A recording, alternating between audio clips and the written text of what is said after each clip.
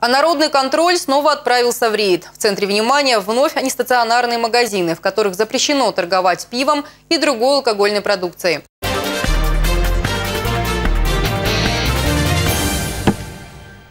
Итак, на этот раз проверяющие направились к павильонам, которые расположены возле 10-й школы и по улице Советской. Проверили несколько торговых точек. И кое-где пиво из-под прилавка все-таки достали. И кроме того, теперь проверяющие, прежде чем появиться в том или ином киоске, делают там контрольную закупку. В качестве покупателя отправляют одного из своих.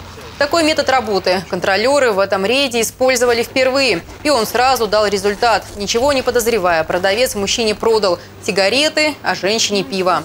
Добавлю, рейды такие будут продолжаться и